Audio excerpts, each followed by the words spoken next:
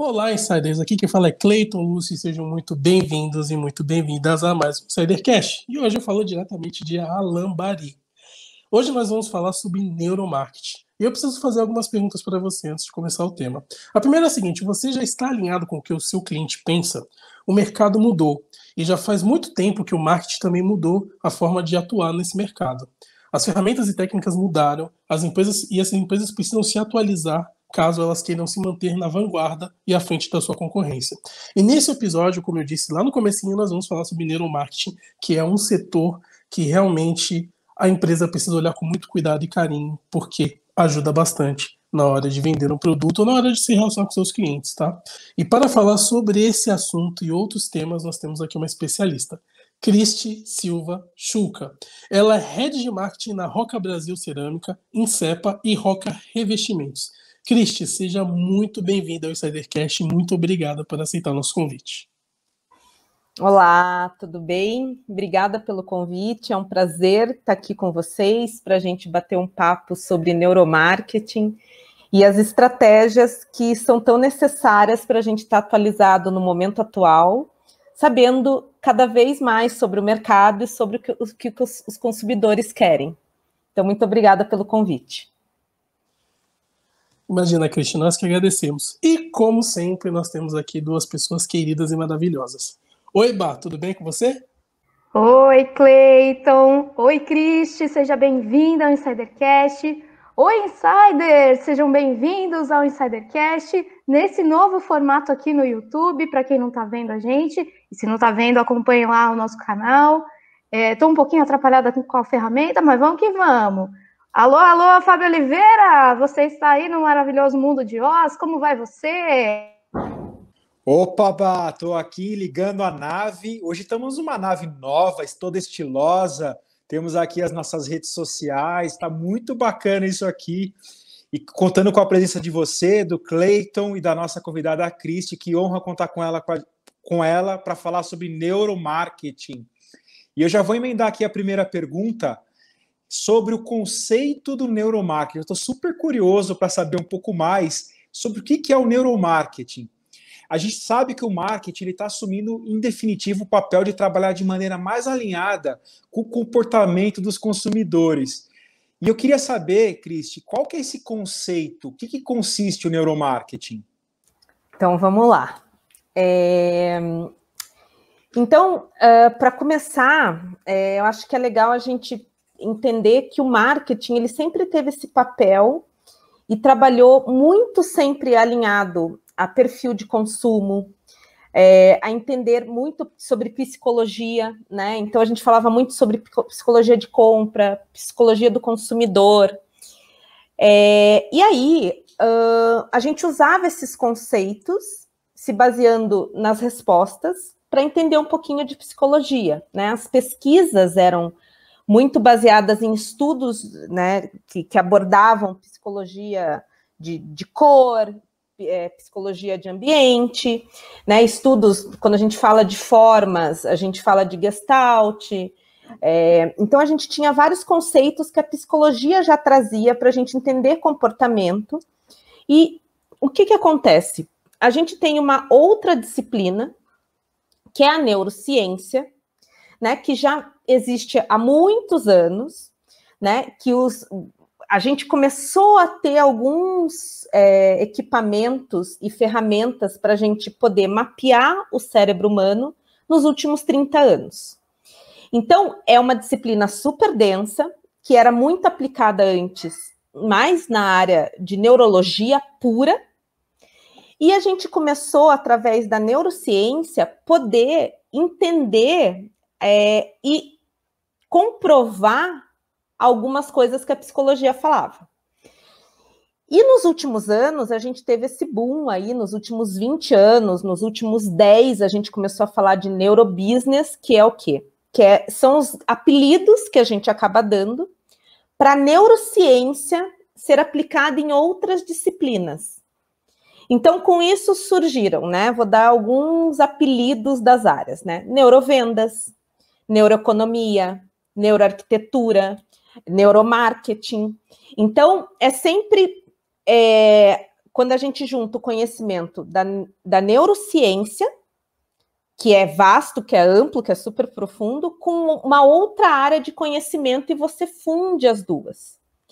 Então, o neuromarketing, ele continua a olhar para consumo, continua a olhar para mercado, continua a olhar para psicologia, né, comportamentos, teorias, e a neurociência, ela se junta para você poder comprovar cientificamente. Então, é, como um, um, exemplo de um gadget, né, de um device que, que é muito utilizado na tradução de você é, utilizar neuromarketing, o eye tracker, né, que é aquela barrinha que você pode ter num computador, é, ou você pode ter numa loja. Então, num computador, você vai né, mapear no estudo de um site aonde está indo a atenção das pessoas, porque você consegue acompanhar o movimento dos olhos. E numa loja, você vai experimentar a exposição de loja, vitrine de loja, áreas quentes, áreas frias. E você tem uma série de outras ferramentas, né? Porque o que, que a neurociência faz? Ela, ela estuda o cérebro, né? E o nosso sistema nervoso. E tudo, todas as nossas reações, né? Todas as nossas emoções, elas são traduzidas em comportamentos. Então, a neurociência, ela, a gente consegue ler o teu, a tua fisiologia, seja através dos teus olhos, temperatura de pele, batimento cardíaco, ondas cerebrais, que áreas ativas são ativadas do cérebro, sem a pessoa precisar contar essa história. Então, a, a neurociência ela, ela começa a te dar respostas muito mais baseadas no comportamento puro, né, nas emoções. É, porque o que que uma outra coisa que a neurociência também ajuda muito no marketing as pesquisas, né? As pesquisas, até hoje a gente usa muito pesquisa em profundidade ou focus group. Então, o que, que a neurociência, né, ou o neuromarketing e, e os, os, os, os, os institutos que estudam neuromarketing ou as consultorias que aplicam conceitos de neuromarketing, né, e tem todos esses equipamentos para ajudar a área de marketing a testar produtos, a confirmar teorias, o que, que eles falam? Que quando a gente responde, né, a gente tem um livro é, do Daniel Kahneman, que ganhou Nobel de Economia, que ele fala do o rápido e devagar, né? O sistema 1, um, que é o rápido, que é o nosso sistema límbico, que são as nossas emoções, onde estão nossos cinco sentidos, onde a gente tem as memórias. Então, é sensação, é o que a gente pega do nosso repertório e a gente tem uma emoção. Quando a gente usa o sistema 2, a gente ativa o nosso neocórtex, a gente está pensando numa resposta. Então, numa pesquisa que eu tenho que te perguntar o qual é a sua opinião sobre, eu estou fazendo você pensar sobre a resposta que você vai me dar. E no neuromarketing, eles analisam, né, quando você usa as ferramentas de neurociência aplicada ao marketing, que essa seria a forma mais correta da gente falar, eu vou observar como que tá, a, como estão as tuas sensações.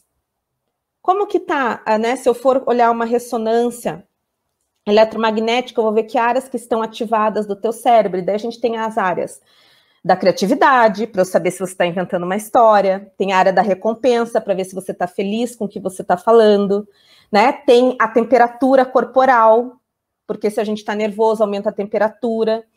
É, eu vou ver a tua dilatação de pupila. Então, você tem vários equipamentos que, que eu vou te analisar fisiologicamente, para ver qual que vai ser a tua resposta, e você vai verbalizar alguma coisa, mas eu vou estar tá analisando o teu corpo, né? Que, que é aquilo que a gente já ouvia muito tempo atrás, que assim, o corpo não mente, né? O corpo também conta a história. Então a neurociência, ela vem para comprovar, né, para utilizar todas essas ferramentas que a gente já tem um avanço da neurociência e aplicar ela a várias áreas. Então, é dessa forma que o marketing agora pega essa força super poderosa para a gente de fato, né, desvendar esse mistério, né, que é entender o que se passa na mente do consumidor. Tentei explicar um pouquinho, é, eu acho que deu certo. Deu sim, Cristi. Inclusive, tem muito a ver com a pergunta que eu vou te fazer agora sobre realmente essa questão do corpo fala, né? E não tem como esconder. E como a, a neurociência, né, trabalha realmente com o consumo. É, a minha pergunta é a seguinte: é, de acordo com a primeira pesquisa brasileira, né, a primeira empresa que desenvolveu uma pesquisa sobre envolvimento da neurociência, que foi a For Branding, nas atividades de consumo, é, esse estudo afirma que 90% de todo e qualquer tipo de informação que chega ao cérebro é processada de maneira inconsciente. Isso prova, então, que é quase impossível a gente controlar qualquer maneira, qualquer coisa do nosso cérebro em relação às, ao que a gente é exposto, em relação à publicidade que a gente é impactado, que a gente consome. Olha, Bárbara, esse esse esse percentual é, é muito difícil a gente determinar um percentual, tá? Então, é, eu, eu quando eu fiz a minha especialização, eu tive outros especialistas na área que fizeram outros testes, então tem gente que fala assim, ah, é 70 e tantos, é 80 e tanto, é 90. O que, que a gente pode afirmar? que a grande maioria das nossas decisões elas são inconscientes, elas são é, emocionais. Por mais que a gente busque atributos racionais para justificar as nossas escolhas. Então, a gente pode falar sim que a grande parte das nossas decisões elas são inconscientes. E aí eu vou fazer uma provocação para vocês aqui. É, primeiro eu vou passar para vocês um dado. O nosso cérebro é o nosso órgão que mais consome energia do corpo.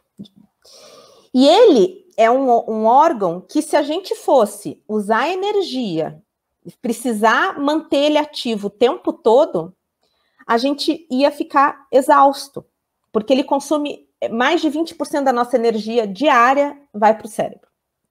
Então, o cérebro ele é preguiçoso. O que, que ele faz? Se eu já sei fazer isso de forma automática, eu não vou gastar energia. Se eu já sei como que eu reajo a isso, eu não vou pensar. Então, a gente, quando a gente entra na parte neurofisiológica, né, a gente falando de uma forma ainda bem leve. A gente tem as sinapses, né, que são as trocas, né, que são aqueles choquinhos elétricos, que são, né, falando de uma forma bem, bem rasa, assim, mas é, são os nossos caminhos cerebrais, né? Quanto mais a gente repete esse caminho, então tive uma ação, reação, né? Que nem a gente brinca, cada ação uma reação. Você vai fortalece, fortalecendo esse teu caminho. E aí a gente fala assim que às vezes é, quando a pessoa muitas pessoas que têm algum trauma, às vezes quando tem um AVC, elas têm que reaprender, né, a refazer. Por quê? Porque ela tem que criar um novo caminho neural. O cérebro ele vai, que é a plasticidade, né, neural que a gente fala, ele tem que encontrar uma, um novo caminho, né? Fechou aquela estrada, eu vou procurar um desvio para eu conseguir realizar aquela atividade. Por isso que muitas pessoas elas voltam a fazer outras coisas, mas elas precisam fazer fisioterapia ou, né, de novo voltar a trabalhar. Por quê? Porque às vezes eu apaguei um trecho daquela estrada, então eu preciso encontrar um novo caminho. Então, é, o que que a gente tem, né, de, que observar e como que o marketing ele usa todo, toda essa parte de neurologia para trabalhar. Então, é, muitas vezes a gente vê livros falando assim de gatilhos mentais ou vieses cognitivos. Isso não é neuromarketing, né? Isso é um pedacinho e o resultado de como que eu posso usar alguma coisa. Mas a gente está falando de comportamento. Então, vamos, vamos pegar uma questão de vieses. Né? Se a gente pega lá, quando a gente é, pega a história, né? O, o, nosso ancestral. O que, que a gente trabalha? Luta ou fuga? Né? Então, assim, eu, eu olhava lá, estava lá na savana, vi o leão, posso matar ou é melhor eu correr? Né? Então, esse é o nosso instinto básico. Né? É o nosso sistema reptiliano que a gente tem até hoje. Né? Lógico que a gente não encontra o, o leão, graças a Deus, mas assim, um carro freou na minha frente, me dá aquele frio na espinha, freiei, não bati, é reação. A gente não pensa, é instinto. Então, a gente tem as ações instintivas, que são voltadas para a sobrevivência, e a gente tem as reações, que, que é o que o, o neuromarketing mais usa, que são as nossas emoções, que são os cinco sentidos. Então, a gente está falando de visão, a gente está falando de olfato, a gente está falando de audição, a gente está falando de tato e a gente está falando de, de paladar. É, então, eu, a, a, a, quando a gente propõe remeter, né, quando a gente vai numa loja, por exemplo, e eu crio uma atmosfera super amigável, de bem-estar, com um aroma, vamos supor, uma loja de criança que me dá uma essência que me remete à infância, eu estou te influenciando sem você perceber. O nosso cérebro, ele reconhece mais de 50 mil odores. Então a gente, né, todo mundo passa por isso, né? A gente chega num lugar e fala, meu Deus, esse é o cheiro da casa da minha avó, ou era o, tipo, fui para um lugar super especial, puta, era o cheiro do hotel da minha lua de mel, ou foi o cheiro que eu dava banho no meu filho, enfim. Então, isso remete à memória. E quando a gente remete à memória, a gente tem uma sensação de bem-estar, lógico, se o aroma for bom, né? Então, isso é muito pessoal. E aí que tá o quê da neurociência aplicada ao marketing. Então, eu vou dar um exemplo vou dar alguns exemplos aqui, e se eu estiver me estendendo, vocês me puxam para a realidade, porque eu me empolgo. Então, por exemplo, a gente fala assim, que a cor azul e a cor verde acalmam, né? Que a cor verde, ela remete à natureza, é, e que te dá uma sensação de bem-estar. Por quê? Porque a gente tem também a neuroarquitetura, que quando a gente fala que a gente está inserido nos ambientes verdes, quando a gente está inserido em meios com vida, você melhora a tua produtividade, você melhora a sua sensação de bem-estar, você melhora a sua criatividade. E aí, uma vez a gente patrocinou uma mostra de decoração, e essa mostra era uma casa, e essa casa, depois a, a, a idealizadora da mostra, ela ia morar lá com a família dela. E ela convidou vários arquitetos, né, e queria usar esses conceitos da neurociência, de bem-estar, e um arquiteto, a gente conversando, eu falando de neuromarketing, ele falando de neuroarquitetura. Ele fez um ambiente zen com verde e botou um verdão lá na parede, planta. Quando ela chegou, ela falou: tira esse verde daqui agora. Por quê? Porque ela tinha uma história pessoal de um parente que tinha ficado doente durante muito tempo e o ambiente que aquele parente que ela gostava tanto era desse tom de verde. Então, o que que, o que que é o cuidado do neuromarketing da gente pegar essas fórmulas prontas? A história pessoal ela vai impactar. Né? Porque a gente tem a psicologia das cores, que ela vai te dar uma coisa. A gente tem a, a cor cultural.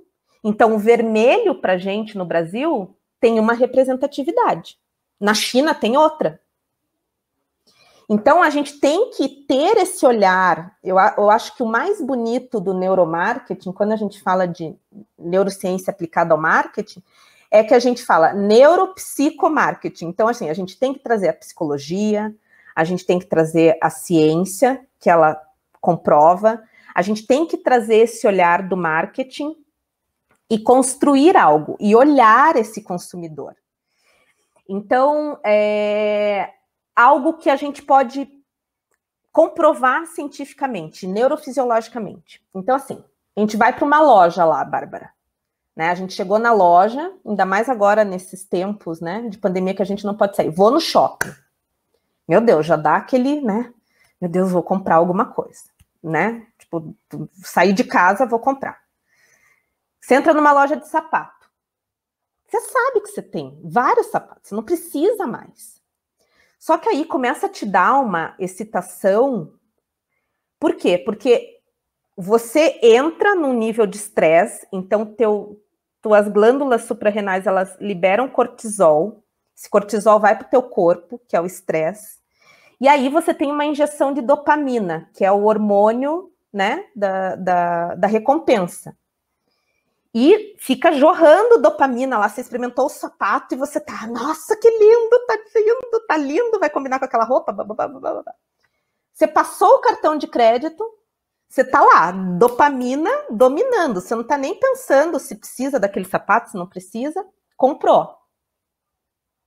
Aí você para para comprar uma água na praça de alimentação, você fala: Meu Deus, mas eu tenho três sapatos desse, da mesma cor em casa. Por quê? Porque a dopamina, do mesmo jeito que ela sobe, ela baixa. Né? Porque ele é o, ele é o hormônio da recompensa. Então, é, quando a gente fala de uma loja envolvente, com atendimento super especial, com uma vitrine bárbara, porque a beleza atrai, né? A beleza estimula a serotonina, que é o hormônio do bem-estar. Então eu fico lá mexendo em tudo, barará, ainda tô lá com uma sensação de bem-estar. Na hora que vem a dopamina, a gente gasta nem pensou. E aí, quando você volta, você chega no carro, você já fala assim: ai meu Deus do céu, vai vir a fatura do cartão.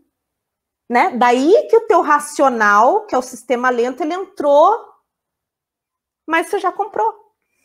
Então, é, isso, isso como, como agora isso é sabido, isso é experimentado, isso é comprovado, lógico que não é só daí nem o neuromarketing, como a gente começa a ver cada vez mais a interdisciplinaridade das coisas. Você tem que falar com um arquiteto, você tem que falar com uma galera de trade, você tem que envolver um discurso de loja, você vai trabalhar aroma, você vai trabalhar luz, você vai trabalhar é, sensações, né? Por que, que em lojas de luxo a pessoa vem, te dá uma taça de champanhe, te dá um chocolatinho? Gente, chocolate é serotonina no sangue, né? A pessoa já fica feliz. Já vai gastar mais, já tô feliz, já tô bem, mistura tudo, pronto, é. Tô acabada, vamos comprar a loja inteira. Então, é, é fisiológico, né? Então, assim, as nossas as nossas mesmo as compras é, mais, quando, quando a gente fala assim, ah, mas não, Cristian, mas se eu for comprar um apartamento, a minha decisão é toda racional. Na hora que você está visitando apartamento modelo, não é. Quando você chega, em, porque daí você sai do apartamento e fala, eu quero comprar isso agora. Depois você vai para casa e você aciona o teu racional que você vai fazer conta. Mas a gente justifica de uma forma racional, né, as nossas decisões, porque se fosse assim, você podia comprar qualquer apartamento, você não precisa olhar para o lado estético. Né? Tudo casa, não chove, você está protegida, né? E então a gente tem que observar sempre a nossa evolução, né? Dos nossos ancestrais, do Homo sapiens, como que foi essa evolução da, da, da do, do sistema né, reptiliano, depois a gente tem esse sistema límbico, que são das emoções, e o neocórtex, que é né, essa parte de raciocinar é muito nova ainda. Então é, é complexo, mas é muito bacana. Cristi, eu estava ouvindo você falando e várias coisas vieram à minha mente. Né? Eu estudo muito programação neurolinguística, eu gosto muito de microexpressões, né, linguagem corporal, e tudo isso que você foi falando, foi, eu fui lembrando várias e várias coisas que eu estudei durante essas aulas que eu tive, e também uma coisa que me deixou muito interessado é o seguinte, é porque vocês pegam, o pessoal do neuromarketing pega muito a parte científica.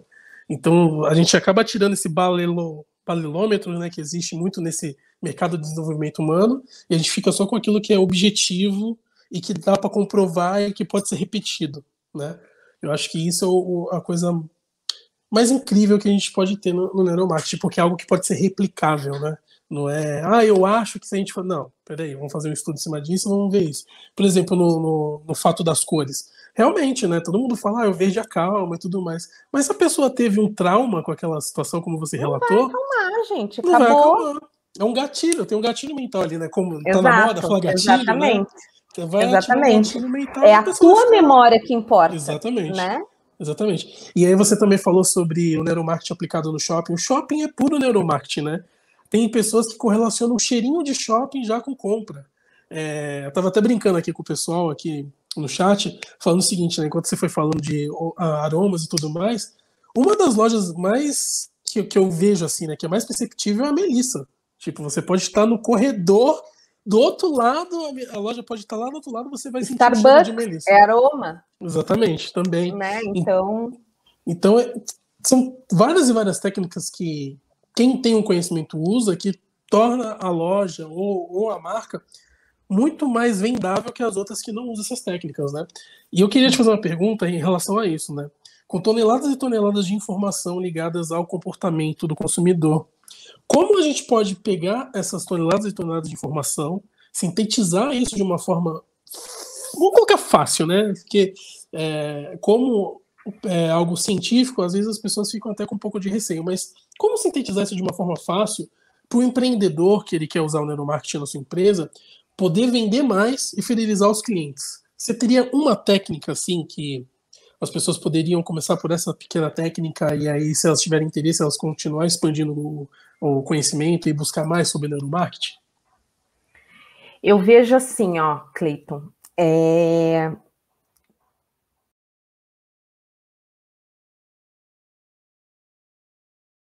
O, o, quando, quando a gente fala muito de marketing, e a gente já vem falando no marketing muito sobre a era da experiência, porque um outro tema que eu estudo muito, eu estudo foresights para futuros, né? Então, é, o, o, que, que a gente observa, assim, que é, o novo luxo é o tempo das pessoas, né? Já faz algum tempo. Lógico que com essa onda de pandemia a gente ganhou umas horinhas. Mas o que, que a gente sempre quer das pessoas? Atenção para a gente. É, então a gente já falava de branding experience, de era da experiência, né? Da, das pessoas estarem divididas. Como é que eu capto a atenção daquela pessoa? É, a gente fala de infoxicação, né? De tipo, como é que eu, eu capto, sendo que é, a atenção das novas gerações ela vem diminuindo ano após ano. Né? Então, antes eram oito segundos, agora já estamos em cinco segundos. Então, como é que você capta? Então, é, eu acho que uma verdade para o marketing era muito assim: proporcionar uma experiência inesquecível. Vamos pegar um clássico, bem, bem óbvio, Disney, né? Experiência mágica, eu vou para lá, por mais que eu tenha lido, que eu tenha visto, que todo mundo falou que tem que gostar, eu vou para lá e eu vou ter uma experiência única. É, então, para um microempresário, é, eu vou falar de uma habilidade que quando eu faço, às vezes, é, palestras né, e converso sobre algumas macro tendências, é, que eu acho super importante antes da gente falar de neuromarketing, é ampliar o olhar. Então, a gente ter esse olhar de observador e curioso. Então, a gente prestar atenção nesses sinais que podem dar grandes ensinamentos, que nem você falou, né, Cleiton? Pô, você vai no shopping, é uma aula de neuromarketing. Mas você que tem um olhar aguçado para isso, mas todo mundo tem esse olhar? Porque da onde que vem criatividade, gente? Vem de repertório, vem de experiência e vem de conhecimento. Então, você tem que estar tá aberto para tudo que está sendo colocado para você Aí você faz um caldeirão e você fala: nossa, puta, tive uma ideia. Então, eu acho que esse olhar aguçado, né? Esse olhar, pensar que a gente quer experiência, isso é muito importante.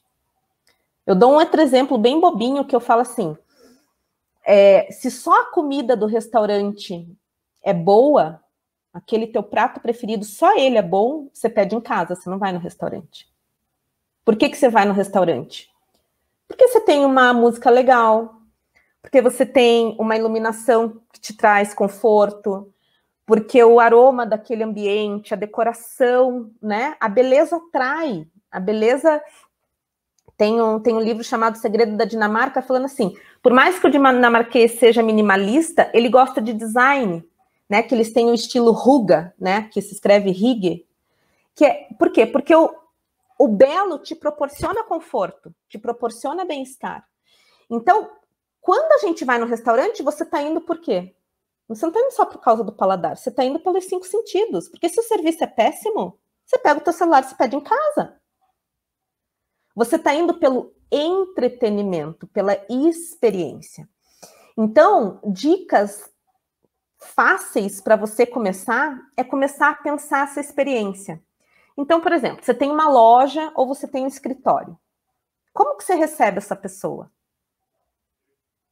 Essa pessoa tem que esperar para falar com você? Como que é esse ambiente que ela vai te esperar? Tem uma cadeira confortável? Tem uma música bacana? Ou tem um, um café passadinho na hora? Ou tem aquela receita daquele bolo de fubá, simplesinho, basiquinho, que é a receita da tua avó. Né? Então, por quê? Porque eu falo assim, se é bacana, se é legal, eu nessas escolhas do meu tempo, aonde que eu vou? Se eu vou na casa da Bárbara e eu sei que a Bárbara faz um cappuccino maravilhoso, e eu vou fazer reunião com vocês três, mas eu tenho que ir na casa de um dos três, eu vou na casa dela? Eu vou ter uma experiência bacana, o Cleiton não me dá nem água. Né? Então, assim, a gente usa o nosso tempo aonde a gente se sente, né? Você fala assim, aonde eu vou ter uma experiência melhor? Eu vou lá. Né? Uma, uma, quando, quando agora falando do, do segmento da roca, eu dou muita palestra para arquiteto, né? E às vezes eles falam assim, eu falo assim, se você não proporciona experiência, você vai ter aquele trabalhão, vai fazer aquele painel semântico, aquele mood board, pensar, desenhar, ver cor, ver textura. Você vai falar assim: vem aqui no escritório que eu quero te mostrar o estudo que eu fiz. Se a experiência para a pessoa, se você não envolveu ela com algum storytelling, e daí a gente vai somando outros pedacinhos de marketing, a pessoa fala assim: me manda por WhatsApp. Aí você fala, meu, né? Tipo, Pô, trabalhei um monte, a pessoa vem falar para eu mandar por WhatsApp. E quantas vezes a gente não faz isso com os outros? Ai, Cleiton, vem aqui, quero falar com você. Ah, Cristian, me manda um WhatsApp aí, me manda um áudio que agora eu tô sem tempo. Então, marketing, seja B2B, seja consumidor final, a gente precisa criar experiência para as pessoas porque aí é onde a gente guarda memórias, e se a gente tem memórias positivas, você quer repetir, Sim. né? O, o, nosso inconsciente, ele não é bobo. Ele fala assim, meu, aquilo ali é bom, eu vou de novo. Então, assim, aromas, é, essa, é, essa questão do, da empatia, né? A gente está falando muito disso de soft skills, skills, mas assim, quem que não quer ser bem atendido? Quem que não gosta que eu chegue, oi Cleiton, tudo bem? Como é que você tá? Né? Não, não trocar o nome. Então, às vezes, né, a gente não está falando aqui de grandes investimentos, a gente está falando de cuidado, de atenção e, e de capricho, né? Eu sempre falo assim, é, é, fazer bem feito ou fazer mais ou menos vai levar o mesmo tempo. Então, assim, vamos cuidar do que a gente está fazendo. Então, são várias somatórias de vários, é, várias técnicas, várias atitudes, olhar aquele projeto, né? Aquele lançamento de produto, ou o lançamento daquela loja, olhar para aquela vitrine, olhar para aquele produto, olhar para aquele serviço, se colocar no lugar do outro e usar essas técnicas. Né? Então, de uma forma fácil, é pensar como que você pode proporcionar memórias usando os cinco sentidos das pessoas. Eu acho que essa seria uma frase assim que você não precisa ser especialista, né? Você pode pesquisar sobre, a gente tem vários cases é, e funciona, né? Vai, vai começar a te trazer um awareness da marca, né? De, de, de serviço, de pensar, ai, que bacana, fui lá, gostei, vou lá de novo. Então, às vezes são soluções simples para problemas que às vezes a gente pensa que são mais complexos, né? Cristi, muito bacana tudo que você trouxe para a gente. Vem muito de encontro com uma entrevista que nós fizemos com o Vitor Bertosini no episódio 33 do Insidercast. Até convido os insiders que não viram e não viram o episódio, ficou muito legal. Ele é diretor da RD, da Raia, Droga, da Raia Drogazil. E ele fala exatamente isso, da experiência do consumidor, né? Desde a da chegada do consumidor na farmácia do atendimento que é prestado, de toda a fidelização que é feita na loja. Então, o, realmente, aquele acolhimento que o consumidor sente do início ao fim. E isso que ele fala muito bem na entrevista e vai muito de encontro com o que você está falando aqui. Eu acho que é muito complementar essa uhum. questão que você falou dos aromas, de você relembrar coisas da fatos da infância. Mas eu queria fazer uma provocação para você aqui no Insidercast. A gente está no meio da pandemia, né? então desde o ano passado, sei que algumas estratégias do neuromarketing talvez não tenham sido conseguido ser executadas de uma forma tão efetiva, uhum. até porque a gente a gente está em confinamento, a gente a maioria das, das famílias estão em casa. Como fazer neuromarketing sem ter esse apelo presencial, o, com o desafio da pandemia? E eu queria até emendar na pergunta como que vocês estão trabalhando isso na Roca, como que vocês estão trabalhando essa questão do distanciamento social. Tá. Ah, essa muito bacana a tua pergunta, assim, é... eu sempre gostei muito é... da tecnologia, né? E quanto mais a gente vê a tecnologia se tornando maior, né? Quando a gente fala de inteligência artificial, IoT, robótica, etc, etc, a gente vai percebendo, né, que estudar futuros, onde a gente vê que a tecnologia ela está muito forte, cada vez mais a gente vai precisar de soft skills, né? Então, quando você fala dessa jornada de, de desse contato humano, cada vez ele vai ser mais importante. Então, a distância, eu acho que, que a gente pode estar tá perto, né, né? Que nem a gente está aqui hoje, mas seria muito mais legal se a gente estivesse numa sala, né? Ia ser muito mais divertido. Essa, a gente precisa do toque, a gente precisa do contato humano. Então, é, eu acho que é uma das coisas que mais a gente sente falta. Então, é, é um desafio a mais, então, eu vou responder tua pergunta por partes. Assim, eu vejo que a tecnologia hoje, a gente tem uma tecnologia que ela está tão expandida, ela está tão exponencial, né, que quando a gente fala aí de que, que através da tecnologia a gente consegue compartilhar de uma forma melhor, a gente consegue, é através da, da, do compartilhamento que a gente difunde mais conhecimento, que a gente começa a falar de economia criativa, é, a gente tem que usar a tecnologia a nosso favor. Então, é possível sim, né, a gente ter experiências imersivas. Então, hoje a gente fala muito, né, de realidade aumentada, realidade virtual, realidade mista, para você causar sensações, né? Então, lembrando, realidade aumentada, quando eu coloco o celular, Pokémon. Eu vi o bichinho ali na minha tela, só que ele não existe. Realidade virtual, ponho óculos, eu vou para um outro universo. Então, é, é, possível você usar sim, né, é, é, os sentidos, né, de uma forma, mesmo à distância, ou criar sensações. É, e a interdisciplinaridade, de novo, ela aparece como sendo importante. Então, assim, Fábio, o calendário da, de moda home, de lançamentos, né, nesse segmento de arquitetura, construção, design de interiores, ele é anual, ele tem lançamentos anuais. Então, a gente sempre, né, se ancorava nesses lançamentos anuais em criar uma grande experiência para os clientes. Então, é, desde pensar é, que você vai falar assim, ah, Cristian, mas isso é básico. Ok, mas é cuidado. Então, por exemplo, desde eu saber que horas que o Fábio chega no aeroporto e a gente se colocar no lugar do Fábio. Quando você sai do aeroporto, o que, que você quer? Né? Quando a gente, eu, a gente pensando assim naquela vida tumultuada que a gente vivia.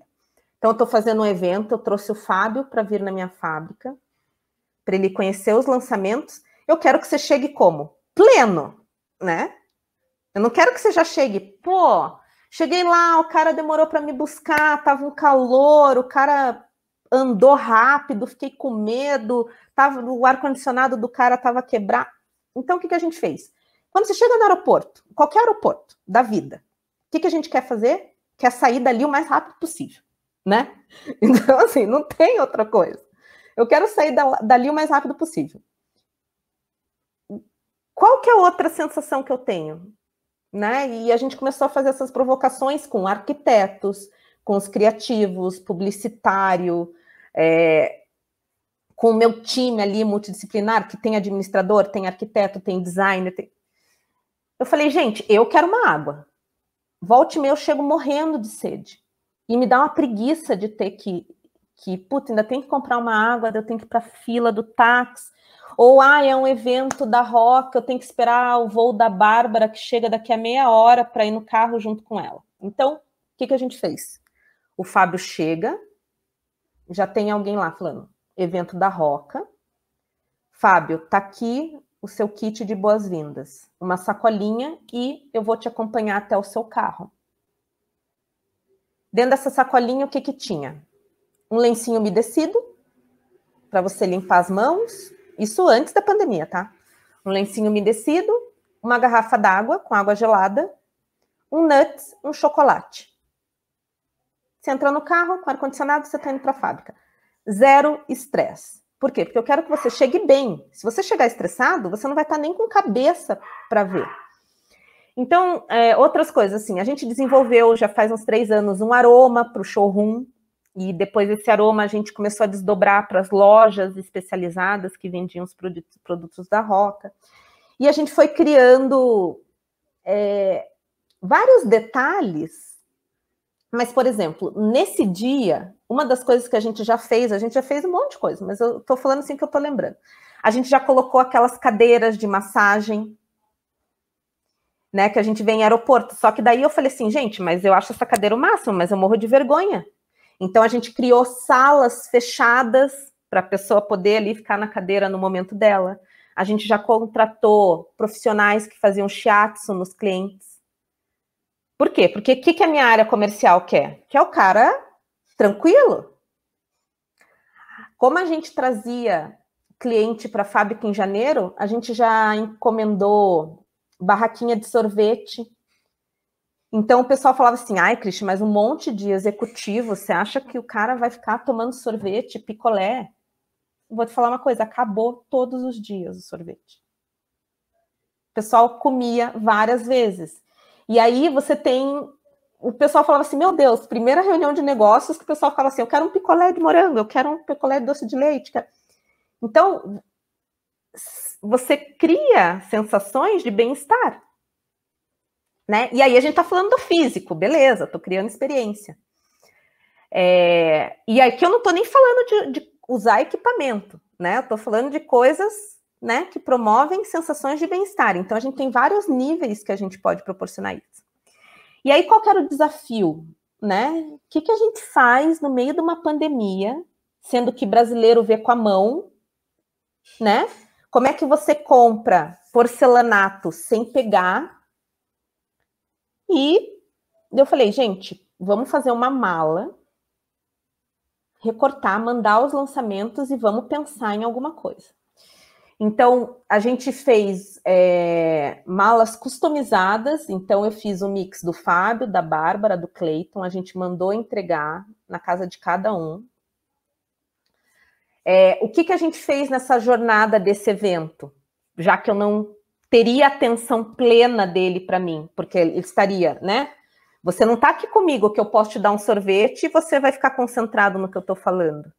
Você está na tua loja, você está com o telefone tocando, com o vendedor entrando, e como que eu ia captar a tua atenção? Então a gente criou todo um storytelling antes e foi trabalhando alguns sentidos. Então a gente mandou uma carta é, escrita máquina com QR Code, que a pessoa ia para um vídeo, um teaser. A gente mandou um aromatizador, que era o mesmo aroma, era o mesmo aroma do showroom, para ele colocar na sala dele. A gente mandou uma caixinha com chocolates, né? E com várias coisas falando assim: tá chegando, a gente quer que você fique bem, um chocolatinho, blá blá blá. E aí, no dia do evento, né? Durante isso aí foi, foram seis meses de preparação. É, a gente contratou também o, o pessoal de tecnologia e a gente criou é, realidades aumentadas dos produtos. Então, quando a pessoa recebia a mala, ela olhava a etiqueta do produto, ela via esse produto ampliado na sala dele. Então, a gente, por exemplo, com os mármores, a gente criou o Davi. É, no produto de piscina, projetava uma piscina na sala da pessoa. Então, a gente levou a experiência para o remoto. Então a gente tinha reunião, que nem a gente está fazendo aqui, numa tela, e eu falava, Fábio, pega lá teu celular, agora você vai ler esse QR Code. A gente fez uma floresta, gente. Então o povo levantava e saía andando, assim, a gente falava, volta para a reunião, né? Quando a gente falava das texturas de madeira. Então hoje a tecnologia ela ajuda nessa imersão, né? Então é, quando a gente fala de experiência, a gente está falando muito de sensações, né, que, que só os humanos têm, mas a gente tem que usar a tecnologia a nosso favor, né? Então eu vejo que que neuromarketing é um pouquinho de tudo isso, né? Você ampliar esse olhar, você usar a tecnologia, você usar a comprovação científica, você usar os sentidos. Então, cada vez mais, os times multidisciplinares te ajudam nessa solução de você criar uma experiência. E a nossa foi assim. Depois eu posso até compartilhar o vídeo com vocês que a gente fez para cobrir esse evento. Porque não fiz arquitetura e urbanismo. Meu Deus do céu. Fiz comunicação. Muito legal as ações. Adorei a experiência, mesmo virtual. É. Cristi, inclusive você foi falando as coisas. Eu já ia falar aqui, Cristi, pelo amor, quando voltar tudo presencial, me chama para um tour aí pela Lógico, pela fábrica, porque eu assim. amei as iniciativas, assim, são muito legais. É, você falou muito dos aromas, né? Marketing olfativo é uma outra grande tendência, né? É uma coisa que mexe realmente com os sentidos. É, eu já deixei explícito aqui em vários episódios que eu sou apaixonada por perfume, então marketing olfativo é uma coisa que sempre me prende, sempre me Sim, traz é memória. Sensacional. É, e você viu, eu... você está certíssima, né? Faz, é, vai te trazer memórias, é isso. E assim, você falou um, um, ponto agora que vai de encontro com a minha pergunta, que é a seguinte: você falou dos times. Eu queria saber como que é ser líder mulher. É, quais foram os desafios que você enfrentou? É, queria contar um, um pouquinho da tua, já antecipando aqui um pouco da, das nossas próximas perguntas que se encaminham para o final do nosso episódio e que são sempre as perguntas que a gente mais gosta. Uhum. É, vamos começar a tirar esse crachá da Cristi, da neurociência, da Roca, mas para falar quem é a Cristi. Então, para começar, eu queria te perguntar como é ser mulher e líder num ambiente que, na mais de construção, vamos dizer assim, né, que é é um pouco mais masculino, você tem a presença ali um pouco mais delicada, vamos assim dizer, né? Quando você compõe uma casa, sempre tem um, um ar mais delicado da escolha. Mas como que é ser mulher, líder, protagonista de um setor é, e ainda mais ligado ao neuromarketing? Tá, então vamos lá. É, eu acho que é sempre difícil a gente responder essa pergunta, né? Quando a gente se coloca e, e a gente está tendo tanto esse olhar, né, para equidade aí, né, para essas lideranças femininas. Então, a Cristi, ela é uma pessoa apaixonada pelo que ela faz, né? Eu amo trabalhar com marketing, com propaganda. Sou muito curiosa. Ah, eu tenho mais de 20 anos de experiência, então foi uma pessoa que desde cedo sempre é, nunca aceitei muito não como resposta, assim, sabe? Era para eu ter feito engenharia civil e, e eu queria trabalhar em obra. E eu lembro que eu ia fazer, eu fiz escola técnica em edificações, e eu ia nos estágios, né? Eu falava, eu quero trabalhar aqui. Daí todo mundo falava assim, não, mas a gente quer um homem para essa área. Né? Isso era 96. Então hoje mudou muito, mas eu falava assim, não, eu não, não vou ser engenheira para ficar dentro do escritório. Então vou mudar tudo. E fui muito feliz, assim, fui muito. É, eu acho que foi o meu primeiro. Quando a gente olha assim, carreira foi o meu primeiro ato de coragem, assim, porque meus pais não sabiam o que era propaganda, não sabiam o que era comunicação, o que era trabalhar com marketing. Eu falei, eu, é isso que eu quero. É, hoje eu sou esposa, sou mãe, é, sou professora, sou palestrante, sou aluna, né? Adoro estudar. É, e o que, que eu vejo que, que a gente, como líder, e que eu gosto muito de falar com o meu time, é que assim, a gente não nas, a gente não começa numa posição de liderança. A paixão, né, e o trabalho árduo, ela, ela, ele te leva lá. Então, você tem que ser apaixonado pelo que você faz. É, eu acredito muito que autonomia e responsabilidade eles andam juntos. Então, é, eu, eu contrato sempre para os meus, time, meus times especialistas nos que, nos, no, nas áreas deles, porque eu quero sempre aprender. É, e eu me vejo muito como facilitadora. Né? Então eu vejo que vocês conversaram com a Lu, né? A Lu foi do meu time. Então ela é super especialista, ela é uma mulher forte, guerreira. Então eu gosto de trabalhar com mulheres fortes. É, eu acho que a gente tem que empoderar essa nova geração, mostrando que é, não só para as meninas, mas para os meninos também, que eles têm que entender que todos são iguais e eles têm que conquistar os sonhos deles para que eles também façam, eles construam isso, independente da orientação sexual das, né, do entorno da comunidade em que eles estejam inseridos. E eu vejo que isso é papel também de nós como mães, né, ou de nós que, que estamos criando meninos, porque dessa forma a gente muda é, essa barreira que hoje a gente fica todo dia, a gente tem que quebrar, todo dia a gente entra no ambiente corporativo, é, a gente tem várias siglas aí, né? Quando a gente está é, expondo uma ideia, né? A gente vê aí que mulher é mais interrompida do que homem. Então, você tem que ter essa força. E você tem que ter consistência. Eu falo, você tem que ter convicção é, e fortalecer sempre a tua autoestima. Porque senão você sempre vai ser julgado. Então, é, hoje eu estava numa outra reunião é, e a gente estava falando de um termo em inglês, né? Por que, que quando o cara ele é muito bom numa liderança em inglês, eles chamam ele de badass? E por que, que a mulher é boss, né? Então, a gente vê que, que, que tem, às vezes, é, é, esses pré-julgamentos por conta da tua do teu sexo. Mas que a gente tem que cada vez mais empoderar as novas gerações, eu acho que é esse o papel de líder, sabe, Bárbara? A gente mostrar assim, você pode ser e você pode chegar aonde você quiser.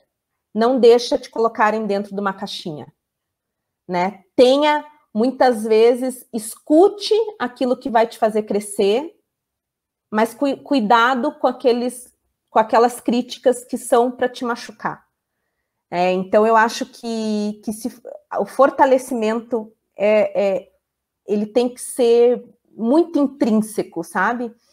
É, eu acho que a gente tem que permitir as equipes é, trabalharem dessa forma, né? E, e internalizarem esses conceitos, porque a gente está passando por um período de muitas mudanças, e eu vejo que muitas mudanças positivas para as novas gerações, né? Então, acho que esse é o nosso principal papel como mulher, aí, como líder, como mãe, como esposa, né? Em todos os papéis, a gente tem que passar essa mensagem. Cristi, a gente está se encaminhando aqui para o final do nosso episódio. Só que antes da gente ir embora, eu queria que você deixasse um recado final para a audiência, com aquela mensagem final, e também o seu contato, pode ser o seu LinkedIn, para que as pessoas possam acompanhar um pouquinho do seu trabalho. Tá bom. É, o meu recado é... Eu vou falar um pouquinho da minha história pessoal. Eu falei: acreditem nos seus sonhos e não desistam. Então, a gente consegue fazer tudo aquilo que a gente acredita que a gente vai fazer. É, e a gente pode fazer isso junto com as outras pessoas. Então, cada vez mais eu vejo que a era da colaboração ela chegou, né? Então, junto com pessoas especialistas em outras áreas, com interdisciplinaridade, com pessoas de várias gerações, a gente ter esse olhar ampliado, né? A gente ser curioso e a gente ser persistente é, são coisas muito importantes. Então, é isso que eu deixo de recado. Sejam persistentes, sejam curiosos, acreditem nos seus sonhos, porque se vocês acreditarem, vocês podem fazer ele acontecer. E o meu contato é, é como está na tela. Meu LinkedIn é Cristi Silva Chuca. E meu Instagram, também, onde vocês sabem, vão saber as palestras que eu estou fazendo tanto pela Roca ou de outros temas que, eu, que muitas vezes eu compartilho sobre tendências ou às vezes neuromarketing. Meu, meu Instagram é Cristi Silva Chuca também, tudo junto. Cristi, muitíssimo obrigado. Foi uma aula contar com você aqui no Insidercast. Você trouxe muitos exemplos práticos que tornam muito mais fácil o entendimento para a nossa audiência. Tenho certeza que quem ficou até aqui com a gente curtiu bastante o episódio e consegue agora aplicar um pouquinho do, do neuromarketing na prática. Inclusive, eu queria fazer um insight final sobre o neuromarketing, que ele também pode ser aplicado no mercado corporativo, principalmente nesse período desafiador da pandemia. A gente consegue controlar de uma forma mais efetiva o nosso cérebro, as nossas sensações. Então, para a gente ter uma vida mais saudável, com menos estresse, passar por todo esse, esse período desafiador, vamos usar o neuromarketing também para esse período no mercado corporativo, na nossa vida e para tudo isso, não só para o marketing em si. É, queria agradecer pelo Clayton e também agradecer pela presença da Bárbara aqui com a gente. Bah, tá com a nave ligada aí? Tô com a nave ligada, me adaptando a essa nova nave, então de vez em quando fica mudo aqui, demora um pouquinho para voltar, mas estou aqui me adaptando ao novo ambiente e adorei a aula de neuromarketing que a Cristi deu para gente.